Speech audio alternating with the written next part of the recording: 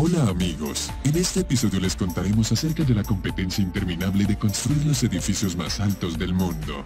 Nada más al construir el Burj Khalifa en Dubái, de 828 metros de altura, el país vecino comenzó a construir el Burj Jeddah de un kilómetro de altura. Antes de que se completara se cavó un pozo de cimentación en Dubái debajo de la torre Creek Harbor, como todo el mundo lo sabe ahora el edificio más alto del planeta es el Burj Khalifa. La altura fue de 828 metros con 163 pisos, sin incluir niveles mecánicos. En 2013 comenzó la construcción de la Torre Jeddah, Burj Jeddah. El primer proyecto tenía pensado una altitud de unos 1.600 metros. Pero después de analizar el suelo, se decidió reducir la altitud a un kilómetro, se suponía que el rascacielos estaría terminado en 2019. ¿Qué pasó entonces? El príncipe más rico del mundo, Al-Walid, fue el impulsor de la creación de este proyecto único del rascacielos gigante. El arquitecto principal es Adrian Smith, conocido por sus extraordinarios diseños de rascacielos en Estados Unidos, China y los Emiratos Árabes Unidos. Smith se asoció con una empresa de arquitectos con sede en Chicago para crear un concepto verdaderamente fantástico para una ciudad del futuro, cuyo centro sería la Torre Jeddah, de 1007 metros. Se planeó destinar 2.2 mil millones de dólares solo para su construcción y la creación de toda la infraestructura de la ciudad. Diseñada para 80 mil habitantes, requerirá al menos 70 mil millones de inversiones. Lo más destacado del proyecto debería ser la plataforma de observación, cuyo diámetro alcanza los 30 metros y estaría ubicada a una altura de 157 pisos de la torre gigante. Según los cálculos de los desarrolladores, desde esa altura se abrirá una fantástica vista panorámica del Mar Rojo y sus alrededores en un radio de 140 kilómetros. La construcción es una estructura sin precedentes que comenzó en 2013 y se suponía que terminaría en 2019, pero la familia real solo tenía suficiente dinero para 26 pisos, por lo que la construcción se detuvo. Los problemas que surgieron durante la construcción debido al aire salado del mar y la influencia del viento durante las obras a gran altura, que también se convirtieron en una de las razones importantes para la congelación de un proyecto tan ambicioso durante cuatro años completos. Pero ya en 2017 el concepto innovador tuvo un nuevo inversor, la empresa saudí Alima Investment, que reanudó la construcción. El área total de construcción es de 530 mil metros cuadrados. El número total de pisos es de 169, incluidos dos subterráneos. El número de ascensores es de 59. La cantidad de apartamentos es de 439. El número de habitaciones de hotel es de 200 y de estacionamientos corresponde a 2.205.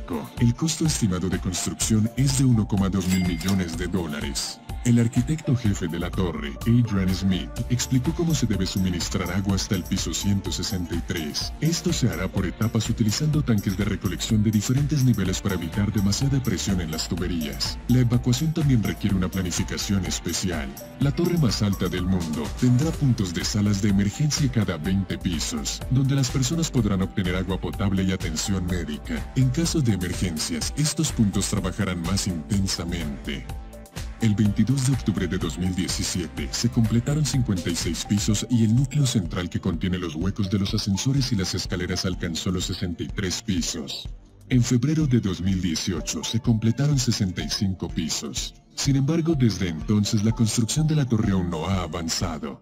En marzo de 2018 estaba previsto reanudar la construcción de la torre, pero esto no sucedió y en el 2020 el piso 65 sigue siendo el último construido. Mientras tanto han dejado de construir otra torre alta en el puerto de Dubai Creek debido a la pandemia del coronavirus. El desarrollador más grande de los Emiratos Árabes Unidos, Emar Properties, ha congelado temporalmente el trabajo en todos sus proyectos de Dubai, debido a la estricta cuarentena.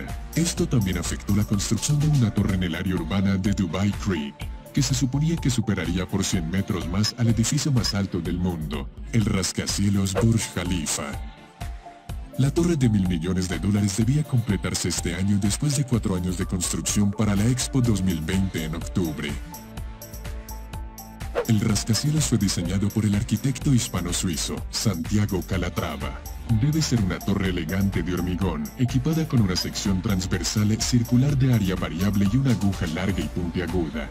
Exteriormente debería parecerse al mismo tiempo un minarete islámico, a la Torre Eiffel parisina, a un capullo de lirio y a un mástil con cables. En la parte superior tendrá un engrosamiento ovalado. Debajo de este se extenderá desde una altura de 700 metros un faldón, de soporte de cables de acero pretensado, el más largo jamás utilizado en la construcción.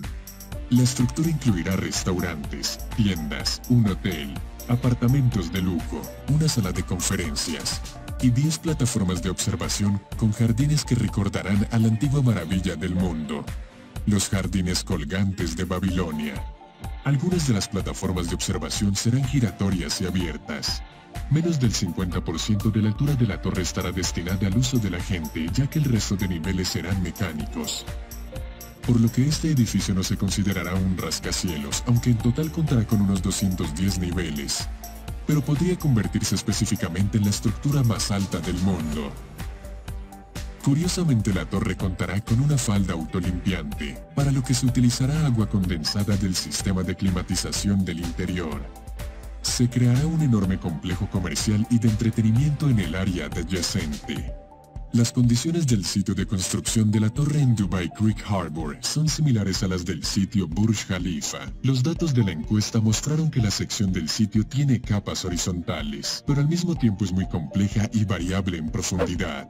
Está representada principalmente por arenas dispersas o débilmente cementadas y rocas muy débiles, arseniscas, limolitas, conglomerados y calcisiltitas. El agua subterránea es dura, químicamente agresiva y se encuentra cerca de la superficie, lo que se tuvo en cuenta al crear un sistema para proteger la base de la estructura de la corrosión. Como en la mayoría de los casos similares, se diseñó una base de losas de pilotes para la construcción de la torre, se realizó la construcción de 145 pilotes de concreto armado de alta resistencia con una longitud de 72 metros.